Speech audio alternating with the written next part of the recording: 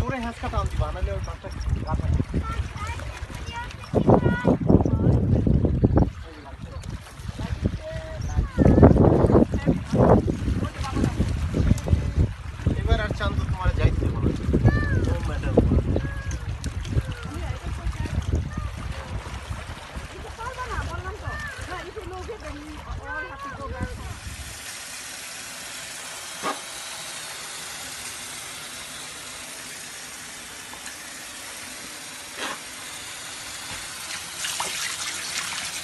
অবশ্যই গরম পানি দিলে